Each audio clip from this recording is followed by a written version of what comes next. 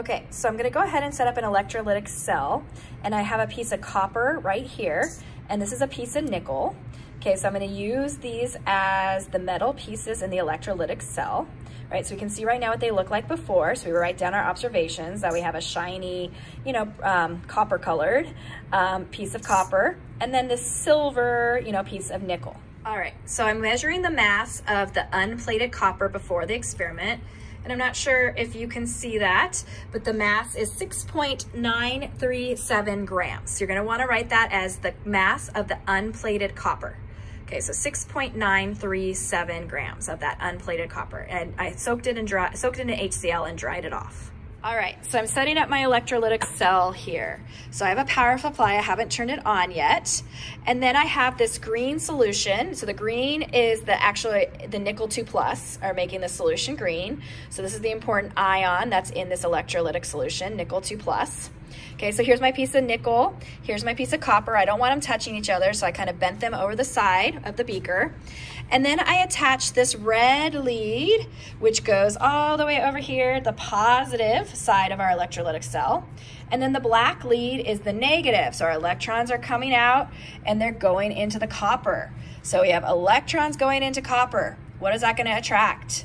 That is going to attract our nickel 2 plus in this solution. So we're gonna see what happens. So I need to turn this power supply on. So I wanna turn the, and I also wanna start the timer because I wanna know how long I'm doing this for. So I'm gonna have my um, timer stopwatch ready. I'm gonna turn on the power supply. There's a coarse voltage knob. Um, we're gonna turn it all the way to the right and then we're gonna quickly adjust the fine, um, the current knob. Let's see, the current, oh yeah, that one's good. This is the current one between 0.4 and 0.5 amps. And we're gonna run it for about 10 minutes. So I'm gonna put this on, quickly adjust this to about 0.4, 0.5. Okay, there we go. I'm gonna start my stopwatch and then we'll check back in about 10 minutes and see what happens. So still at 0.45 amps and I'm gonna go ahead and stop it. So I'm going to try to turn off stop. So 10, oops, you can't really see it. Uh-oh, 10, it was 10 minutes and 36 seconds, okay? It, I, I looked at it, I don't know why the value kind of, there it goes, 1036. Okay, so 10 minutes, 36 seconds. So that's how long I ran the cell for. All right, so I stopped it now and I'm gonna pull off. Ooh, do we remember what this looked like before? It was all copper. Now look, now we have a nice coating of nickel metal on there, right? The electrons were going in, forcing the electrons into the copper, and then the nickel 2 plus from the solution joined with those um, electrons to make nickel. We electroplated this. This one shouldn't look much different.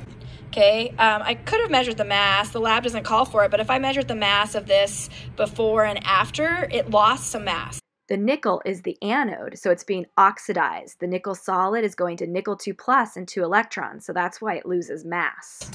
All right, so I'm gonna go ahead and dry this off, clean it up, and then we're gonna measure the mass and record the mass after the plating. So our observation is we have a nice silver plating on our copper. Okay, so I went ahead, I'm measuring the mass now of that copper metal. It was the same one I, I measured the mass of before, but now this is after, right? After electroplating with the nickel plated on, so our mass should have went up. It did, 7.018 grams. So go ahead and write that in your data table.